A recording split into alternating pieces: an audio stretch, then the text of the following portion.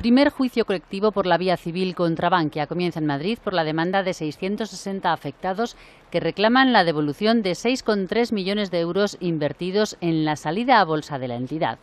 Los accionistas reclaman la nulidad de los contratos y la devolución de sus inversiones al considerar que el folleto no reflejaba la imagen fiel del banco.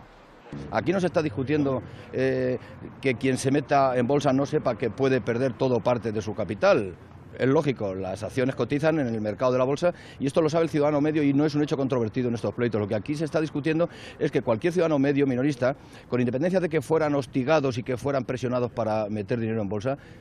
ellos meten el dinero en una empresa que creen que les va a reportar unas expectativas y unos beneficios. Eso es lógico y legítimo. Pero claro, si tú me dices que eres solvente y luego resulta que estás quebrada y en situación de, de concurso de acreedores, pues me estás engañando y eso quiebra mi voluntad y por lo tanto mi consentimiento está viciado y por lo tanto me tienes que devolver todo el dinero.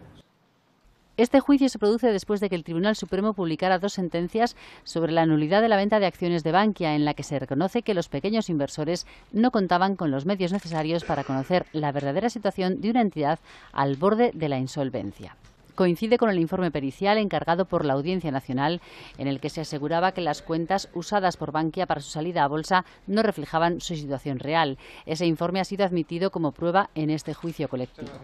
antes de la sentencia del Supremo, que fue publicada ayer y va a marcar un antes y un después, desde luego, en, los procesos judiciales, antes de esta sentencia se estaban ganando en un 99% las sentencias, ahora se ganarán en un 100%. Para hacer frente a las indemnizaciones, Bankia aumentó los fondos para causas judiciales hasta los 1.800 millones. Las demandas ascienden a 820 millones.